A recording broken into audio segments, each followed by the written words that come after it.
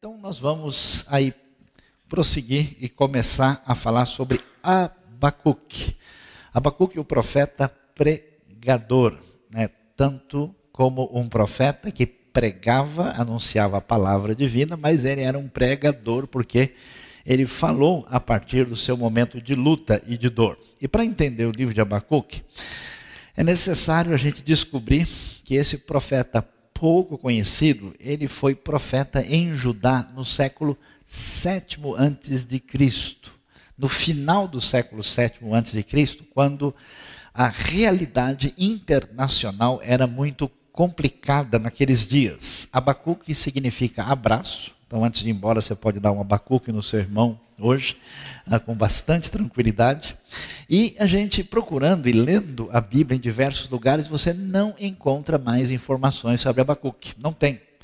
Existem informações apócrifas que dizem que Abacuque foi levado pelo anjo segurando pelos cabelos, mas a informação apócrifa, como eu disse, ela é apócrifa. Então, a gente não tem nada realmente objetivo sobre ele. Uh, nós vamos encontrar uma anotação, esse pequeno livro que tem apenas três capítulos, no final, capítulo 3, versículo 19. Quando Abacuque está terminando o que é chamado o Salmo de Abacuque, há uma indicação na nota que vai sugerir que ele liderava, ele liderava a adoração no templo e possivelmente seria um profeta cultico, ou seja, um profeta levita, alguém que estava atuando na adoração do templo de Jerusalém antes que ele viesse a ser destruído. Olhando para o livro de Abacuque, nós vamos descobrir que ele vai ser escrito entre os anos 609 e 597 a.C. Os estudiosos, analisando detalhes e referências específicas do livro, eles uh, estão muito seguros que essas são as datas. Por quê? Porque quando você estuda a história bíblica, você vai descobrir que o reino de Judá, que é o reino que dividiu, uh, em relação à, unidade que existia, né, o reino do norte, o reino do sul, ele vai durar até o final do reinado do rei Josias, que termina no ano 609. Daí em diante, os babilônios começam a dominar toda a situação e Abacuque deve ter escrito os seus primeiros textos, oráculos, a partir dessa, eh, desse momento, dessa circunstância, e ele vai até 597, quando começa o último reinado do último rei de Judá, que é o rei Zedequias, que reinou de 597 até 586 a.C. E era um momento muito difícil da história, um período crítico, complicado, porque a nação de Judá tinha se afastado do grande avivamento e das mudanças e reformas que o rei Josias tinha feito por volta do ano 620.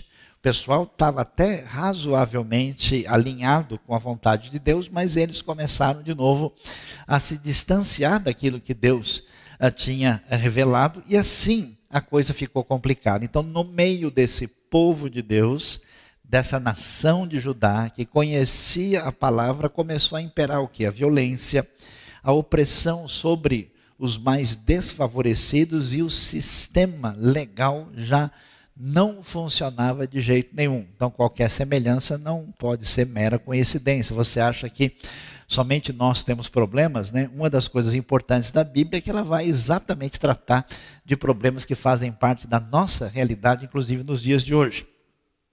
E se os problemas internos fossem assim os piores possíveis, externamente a coisa estava muito complicada, porque os babilônios estavam crescendo, estavam cada vez mais fortes, já tinham derrotado a Assíria, tinham conquistado Nínive no ano 612 a.C. e continuaram na sua marcha feroz e conquistadora e derrotaram também a última potência da região, que era o Egito. Era um poder avassalador que ninguém podia conter. E assim, a ameaça desses babilônios chegarem e destruírem Judá era cada vez maior. E é nesse momento em que Deus vai mexer com a vida de Abacuque para que ele venha trazer a palavra de Deus nesse momento de crise acentuada no reino de Judá. Interessante que nós mencionamos aí o último momento favorável, o último momento positivo que vai acontecer com a morte do rei Josias. O rei Josias resolve entrar no meio de uma guerra, de uma batalha que aconteceu lá no lugar onde fica o famoso Vale do Armagedon, que é o Vale de Meguido, que fica na parte centro-norte de Israel. Ele ah, foi lá nessa batalha entre babilônios e egípcios e acabou né, tentando apoiar ali a luta que acontecia entre os egípcios com o faraó Neco e os babilônios, acabou morrendo, e aí foi o último momento em que Judá uh, teve alguma possibilidade de fazer alguma coisa de maneira construtiva e que pudesse levar a nação adiante. É interessante que Abacuque faz parte daqueles que são chamados os profetas. E olha que coisa interessante. Às vezes a gente fica chateado, a gente fica desesperado, porque as estruturas se corrompem.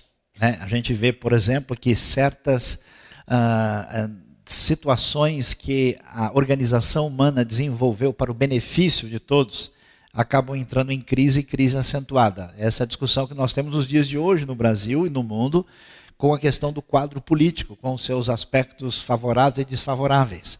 Mas é interessante a gente observar que o que, que a Bíblia vai mostrar? Que o quadro político de Israel e de Judá entram em crise e são bastante atingidos pela falta de ética, por uma série de situações negativas e problemáticas. E ao mesmo tempo em que o governo se corrompe nos tempos bíblicos, também a religião institucionalizada se corrompe. Então se esperava muito de quem? Dos sacerdotes. Sacerdotes que foram instituídos por Deus desde os tempos lá do livro de Êxodo e Levítico. Se você for ler o livro de Êxodo e vai ver até os detalhes das roupas do sacerdote, Levítico capítulo 28, por exemplo, todo o detalhamento. Não existia no tabernáculo e na construção original ah, da relação religiosa com Deus nenhuma referência a profetas. Olha que coisa interessante. Olha que coisa mais linda, mais cheia de graça, né? É o texto que passa para a nossa lição. Olha que coisa interessante a gente vê que Deus, se o governo, as instituições políticas se corrompem, e se a instituição religiosa se corrompe, Deus levanta os seus profetas. Esses profetas são show de bola. Era um pessoal que não queria fazer aquilo. É, você vai ver o Amós, ele diz assim: Olha, meu negócio era cuidar de gado, eu entendi, era de plantação, de figo, de figo silvestre, e Deus me chamou dessa situação para trazer a sua palavra. Esses profetas sofreram, esses profetas foram convocados somente por Deus, a maior parte deles não fazia parte do sistema, e eles bateram de frente com toda a situação de decadência e de fragilização da vida política, social e religiosa do Israel antigo. Então vale a pena ver, por exemplo, Amós e Oséias, os grandes profetas do oitavo século, que falaram em Israel, e Isaías e Miqueias, do Reino do Sul, que falaram em Judá. E no século VII, depois que o Reino do Norte é destruído pelos assírios no século VIII, nós vamos ter o famoso profeta Jeremias e os três amigos próximos aqui, Naum, Abacuque e Sofonias, que são certamente a sua leitura predileta que você fez nos últimos meses. Né? Vou até tomar um copo d'água depois dessa aqui.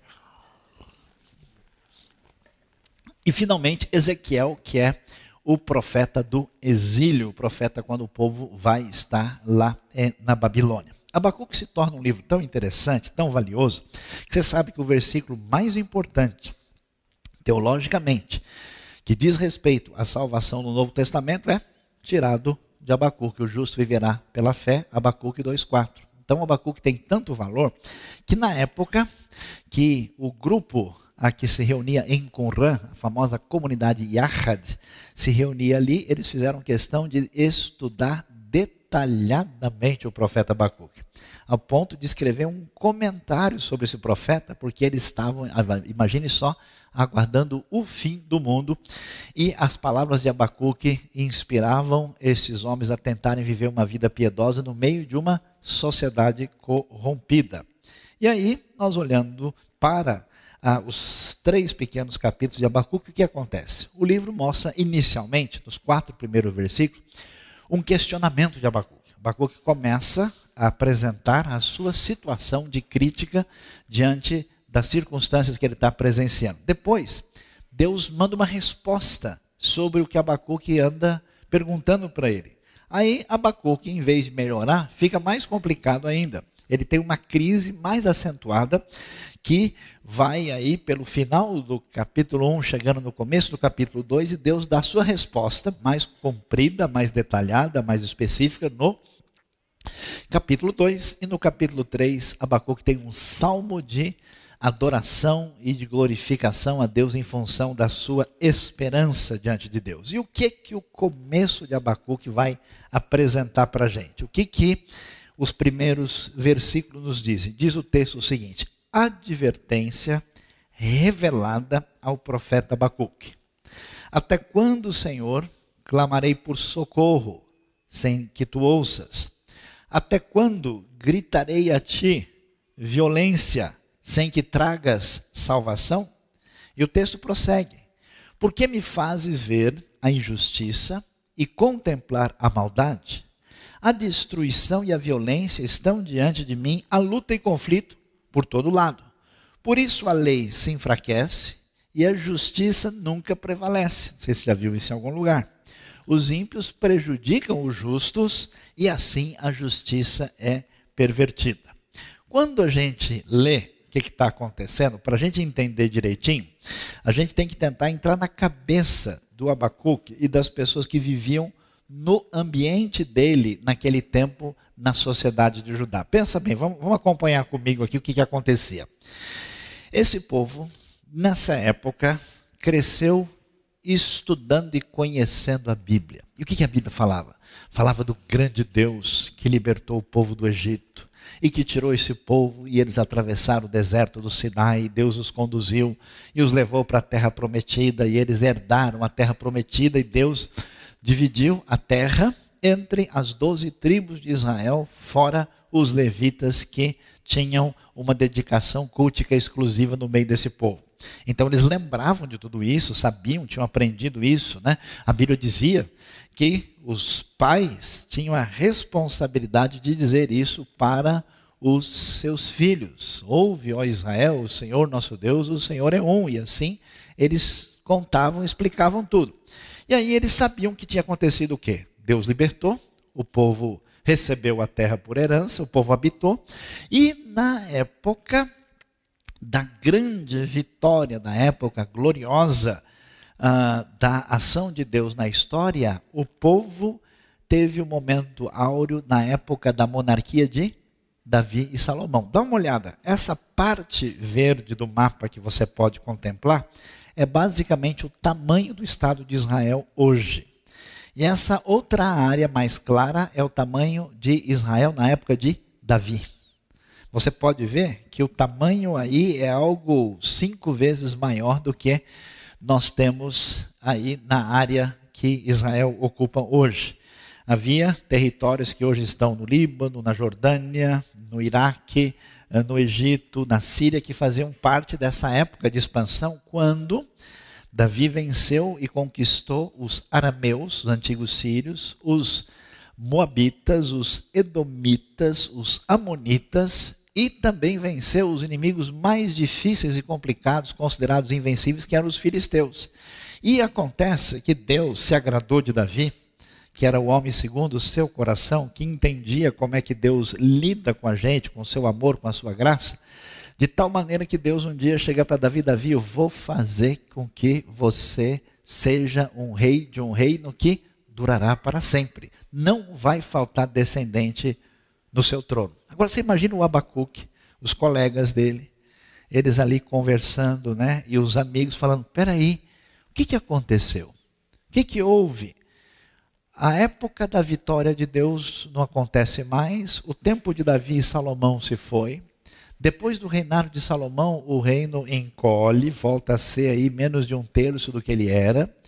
Ele divide em duas partes, o reino do norte e o reino do sul tinha 12 tribos, 10 entram em apostasia, se afastam de Deus completamente. Eles tiveram 20 reis, cinco dinastias, que geralmente trocavam de rei por meio de assassinato. E você acha que você tem problema.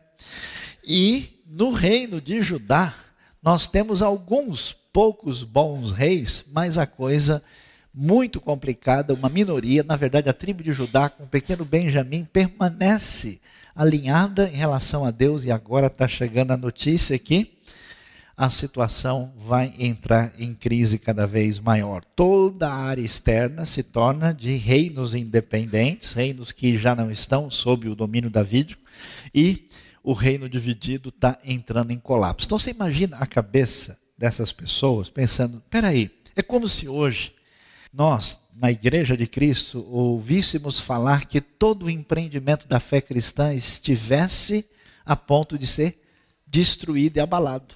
É como se a gente imaginasse que no futuro próximo não fosse sobrar absolutamente nada, porque tudo aquilo que existia se foi, diminuiu, dividiu, ficou a menor parte, que se apostatou em grande parte, o julgamento chega e os babilônios estão chegando, e eles sabiam com temor como a coisa era complicada, porque o reino do norte, da grande capital, Samaria, fora finalmente destruída pelos assírios no oitavo século e não tinha sobrado absolutamente nada. Alguns deles acabaram fugindo para outros lugares, outros se misturaram com povos estrangeiros e uma parte considerável desceu para o Reino do Sul para buscar refúgio, saíram dali como refugiados de guerra nesse momento tão complicado. Aí nós vamos então entender como é que está a cabeça do Abacuque diante dessa circunstância. Ele vendo esse cenário, a pergunta é como é que a gente entende o jeito de Deus agir quando tudo parece a pior realidade possível. Ele vai discutir aquilo que a gente chama do problema da justiça e da bondade de Deus em face da realidade do mal e do sofrimento. Existe uma disciplina de estudo né, chamado Teodiceia, que significa como é que a gente pode confirmar que Deus permanece bondoso e ao mesmo tempo todo-poderoso diante da realidade que a maldade corre solta no mundo e que o sofrimento injustificado é uma realidade. Algumas pessoas fizeram coisas muito estranhas. Alguns fazem, por exemplo, um caminho de negação da maldade. Não, isso é sofrimento, isso é uma coisa psicológica, é a pessoa que cria o sofrimento na cabeça. Isso aí é complicado, porque a gente sabe o que significa sofrimento real. Tem outros que dizem, bom, se existe sofrimento e dor, então é sinal de que Deus não existe. Ou se ele existir, ele não é tão bondoso quanto a gente imaginava. Ou se ele é bondoso, talvez ele não tenha tanto poder assim.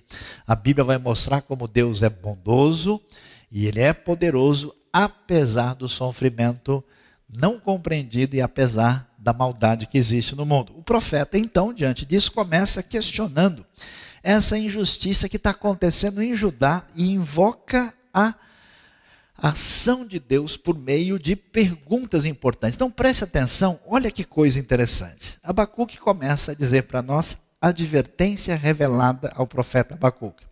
Em algumas outras traduções da Bíblia, você lê, está escrito peso que cai, que está sobre o profeta Abacuque. Porque literalmente a palavra que pode significar profecia, oráculo, tem esse sentido de peso e uma palavra que vem de força, com força da parte de Deus e que pesa sobre o profeta e é trazida para o nosso conhecimento e a nossa reflexão. Mas o interessante, o diferente, uma coisa absolutamente inesperada, que quando você lê a sequência do livro de Abacuque e procura a profecia revelada por Deus, não tem nada. Não tem profecia. Dá uma olhada. Interessante, né? Quando você pega qualquer livro profético, ele quase sempre começa, e veio a palavra do Senhor a Jonas, filho de Amitai, dizendo, e veio a palavra do Senhor a Amós, né, de Tecoa, sempre a palavra aparece assim com a introdução e diz, ouçam, ó povo de Israel. Quando você lê Abacuque, não tem. Né? Abacuque fala que foi dado uma palavra, um peso, um oráculo da parte de Deus, e quando a gente vai procurar onde é que está a profecia, o que, que a gente escuta? O grito de Abacuque. E o grito de Abacuque é muito interessante, porque é o que ele faz. Ele não era muito evangélico. Ele não sabia como é que as pessoas deviam se comportar. Então ele faz algumas coisas que a gente nem poderia imaginar. Ele diz: Até quando, Senhor, clamarei por socorro sem que tu ouças? Até quando gritarei a ti violência sem que tragas salvação. Abacuque começa a sentir um incômodo, uma dor, uma revolta, um aborrecimento por causa da situação do povo de Deus em Judá. Ele vai ficando indignado e revoltado com isso. E aí ele fica pensando: peraí, Deus é o Senhor, Deus é poderoso, a situação é assim. Será que Deus não é capaz, não pode fazer nada por essa situação? E ele vai ter uma santa revolta. Você sabe que tem revolta que não é muito santa, não. A Bíblia critica um negócio que é tradicionalmente chamado de murmuração. É a pessoa indignada, revoltada, perdida nos seus próprios erros, que desenvolve um aborrecimento para com Deus e a vida e tenta responsabilizar a Deus pelos problemas da sua vida e dos outros. Diferentemente desse tipo de atitude, a postura de Abacuque é a postura de quem joga o jogo da verdade e fala as coisas do jeito que elas são. Porque como é que a gente faz quando a dor atinge o nosso coração? Quando a injustiça, quando o incômodo diante da realidade à nossa volta, qual é a nossa atitude geralmente? A maior parte das pessoas hoje pratica a famosa teologia do avestruz. A gente põe a cabeça dentro da areia, faz de conta que não está acontecendo nada e fica tranquilo, e fica calminho, sossegado. Existe um processo perigoso, um processo que domina grande parte das igrejas de hoje, que é um processo de alienação em relação aos grandes problemas do mundo, onde a pessoa simplesmente não quer saber de nada, né? ele vai à igreja para ele ficar feliz, para viver sorrindo, ter um rosto lindo, é preciso andar com Jesus. Então ele vem na IBNU. Quem que prega hoje? Ah, é o Jonas Madureira? Ah, é o Saião? Ah, se não for, eu não vou. Né? Ah, o que, que tem hoje? O que, que tem na classinha? Tem uma coisa legal, boa para a gente fazer com as... Ah, então eu não quero. Mas onde é que é a viagem missionária? É no Hilton Hotel? Ah, então eu estou me apresentando para ir. Mas se a viagem for meio complicada, vamos orar para que Deus abençoe. Né?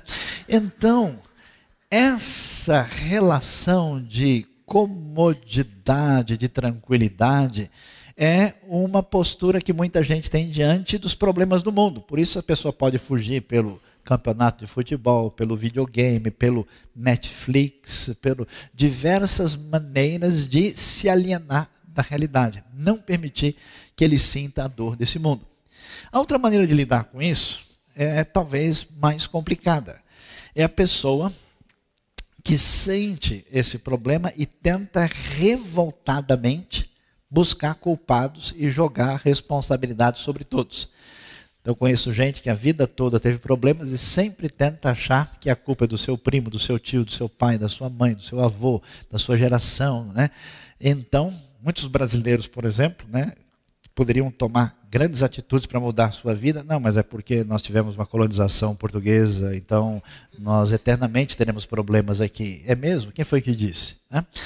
Então, atitudes é uma atitude complicada de jogar a responsabilidade sobre os outros. Tem gente que é pior, que a pessoa entra num processo de autocomiseração e toda dor é porque eu sou assim mesmo, é porque eu não presto, eu sou a pior pessoa do mundo, né? Quem é que vai me jogar dentro do mar, né? Chame os marinheiros de Jonas, quem sabe eles não estejam trabalhando e me joguem lá para o peixe me pegar. E a pessoa tem a atitude errada. O que, que a Bíblia mostra para gente? Que é interessante, no lugar da palavra de Deus em Abacuque surge a dor, o conflito que atinge o coração do profeta.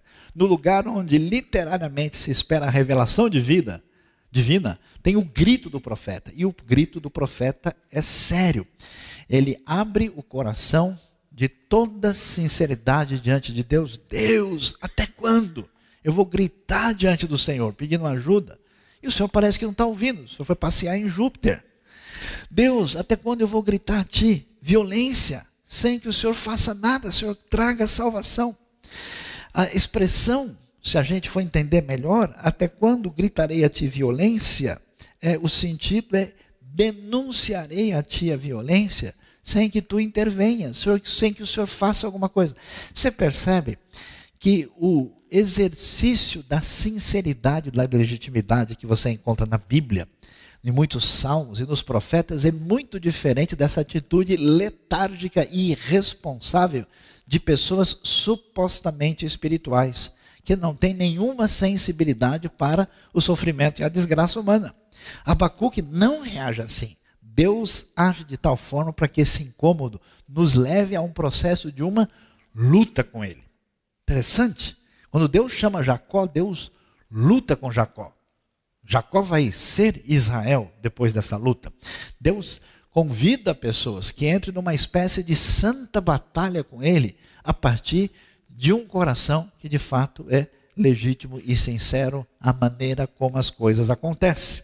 E por isso vai ser interessante, porque esse grande problema que a gente discute tanto e que os alunos, os estudantes, as pessoas vão vir o tempo todo, Abacuque vai dar um tratamento nesse assunto muito interessante, que é o famoso problema do mal. Se Deus é onipotente, ele é amor, como é que o mal pode existir? Como é que é possível? Esse é o maior desafio que o pensamento bíblico, o pensamento cristão enfrentou através da história, tratando do assunto que a gente vai discutir quando estudarmos Abacuque todo durante aí os próximos meses, quando a gente sabe que o mal físico, que é o sofrimento e a dor, e o mal moral, que é o pecado, e como a Bíblia vai mostrar para a gente como é que a gente deve agir diante do fato de que existe esperança, porque Deus é bom e absolutamente poderoso. E a gente prosseguindo mais adiante, quando Abacuque percebe toda essa situação de fragilidade, de decadência, de erro dentro de Judá, e ele começa a perceber o cenário, ele vai reclamar diante de Deus de uma maneira muito interessante. Ele diz: Deus, o senhor poderia pelo menos ter aliviado a minha barra. O senhor poderia ter me deixado mais feliz. O senhor poderia ter me deixado mais contente. Porque, olha, olha a frase direta: me fazes ver a injustiça e contemplar a maldade. Por que, que o Senhor Deus não me deixa quieto? Por que, que o Senhor não sossega, não para de me incomodar? Então preste atenção. O caminho da palavra divina e do agir de Deus na história passa em muitos momentos na Escritura Sagrada por um incômodo terrível da parte de Deus no nosso coração. Aquilo que você pode achar que é um problema, aquilo que você pode tentar jogar culpa nos outros, aquilo que você acha que é problema às vezes seu, aquilo que você vai dizer, não, isso aqui deve ser o diabo, muitas vezes são as circunstâncias preparadas por Deus para que a gente entre no alinhamento com Deus para fazer diferença no seu reino. Porque a nossa sociedade, né, aí mais ou menos refém dessa atitude superficial, ela quer o Dorflex de Cristo, o analgésico de Jesus, o AS da fé, né? onde a pessoa é, experimenta uma relação com Deus, onde ele simplesmente quer estar psicologicamente calminho. Não é o caso da palavra de Deus, principalmente nos profetas e mais ainda no livro de Abacuque. Aí ele começa a dizer: Deus, a destruição e a violência estão diante de mim. A luta e conflito por todo lado. Essas palavras, se você observar bem, são palavras que falam de grandes problemas de conflitos sociais. Luta, conflito, são palavras técnicas do vocabulário jurídico da época.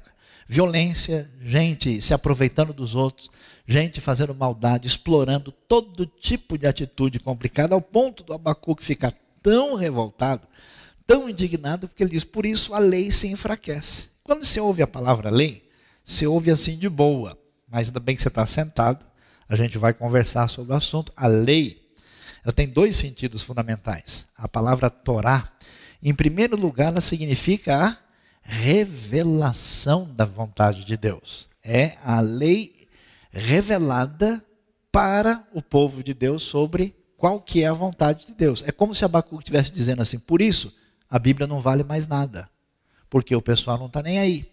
E essa lei, essa Torá, ela também indicava os caminhos pelos quais as pessoas deviam se comportar dentro da sociedade de Judá. Tanto é que Israel tinha um dispositivo muito interessante, que é o único lugar do mundo antigo onde o rei não podia ter poder totalmente absoluto porque havia lei para o rei. O rei, o rei não multiplicará para si cavalos. O rei tinha que respeitar uma constituição que era a Torá. Então, nesse sentido, o que, que acontece? Abacuque está dizendo, Deus, eu estou tão revoltado, eu estou tão indignado que eu estou olhando para o teu povo, eu estou olhando para essa sociedade de Judá, para o que restou daquela história tão linda que eu aprendi desde pequeno, e sabe que eu estou percebendo que a Bíblia não vale mais nada e que a lei não funciona. Que nada funciona no meio desse lugar de Judá. Por isso, ele mostra a dor do seu coração, diz que a justiça nunca prevalece, e como a bagunça está feita, o circo está armado, os ímpios prejudicam os justos e assim a justiça é pervertida. Abacuque fica indignado e mostra sua dor e pergunta: Deus, por que, que o Senhor me faz presenciar injustiça e sofrimento? Uma tradução um pouco mais ampla. Porque apenas o Senhor olha, enquanto diante de mim há somente opressão e violência, enquanto há litígios e conflitos. A gente vai uh, entender no final o que, que esse capítulo inicial, esses primeiros textos de Abacuque querem dizer para a gente. Quando a gente quer ouvir a palavra de Deus, o que, que a gente quer ouvir e por que, que a gente quer ouvir. A gente quer ouvir da parte de Deus, geralmente, algum tipo de mandamento simples. Alguns estudiosos fizeram um levantamento dizendo que a maior parte das comunidades religiosas ficam muito contentes se derem para elas cinco, seis atitudes que elas devem fazer para que elas se sintam bem religiosamente. Quem que é o crente? Ele não bebe, não fuma, não joga, não mata, não rouba, não usa droga, tá bom demais. Ele não faz um monte de coisa errada. É uma espiritualidade tetraplégica. A pessoa não faz um monte de coisa, tá bom demais. A atitude de muita gente é esperar que Deus nos diga a sua palavra para que a gente tenha muito dinheiro no bolso, saúde para dar e vender. Deus quer a sua vida melhor, cada vez mais. A sua poupança rende mais que a dos outros. E a Bíblia vai colocar para a gente: você sabe quando é que Deus começa a falar de verdade? Você sabe qual é o método que às vezes Deus usa quando a crise é total dentro do povo de Deus? E quando a crise é total lá fora e somem as perspectivas, as expectativas positivas, a esperança, Deus começa a incomodar o coração de muita gente. Então, a nossa oração hoje é que Deus tire a sua paz, incomode a sua vida, prejudique a sua estabilidade, bagunce a sua zona de conforto, leve você a fugir de uma alienação irresponsável e anticristã perante a vida e que você sinta a dor do mundo. Sinta a realidade terrível. Eu acho tão assustador como algumas pessoas criticam a igreja de Deus como se eles não fizessem parte dela, como se eles fossem assim de uma dimensão, né? Lá de cima olhando para os meros perversos. Os profetas choravam porque o povo de Deus era o povo da história que Deus tinha construído. Eles sentiam a dor, sentiam a dificuldade. A pergunta para a gente é: qual é a relação que a gente tem tido com o santo incômodo que Deus já trouxe para a minha vida? Você apagou? Você saiu fora? Você é o mero contemplador? Você conseguiu? Lembra aquilo que mexeu com você? Que você falou, agora vai, eu quero fazer parte de um projeto que faça diferença? E você conseguiu lá tomar os seus narcóticos da fé conseguiu jogar um monte de coisa em cima, atirou bastante cinza sobre a brasa viva e não permitiu que a vontade de Deus se revelasse através do incômodo que atinge a nossa vida.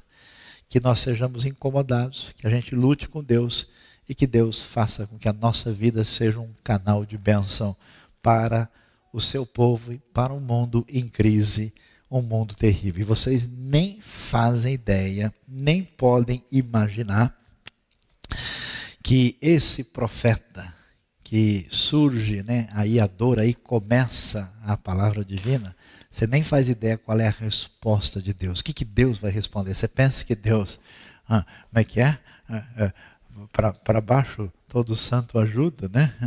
Uh, Deus vai ajudar o Abacuque. Fala, Abacuque, você está nervoso? Vamos tomar um café ali, a gente conversa. Você nem faz ideia qual é a resposta de Deus para Abacuque. Semana que vem, a partir das nove e meia, nós vamos refletir sobre a continuidade dessa palavra de Abacuque que nos convida a um incômodo para fazer diferença no mundo onde a palavra de Deus e o agir de Deus vão fazer diferença. Thank you.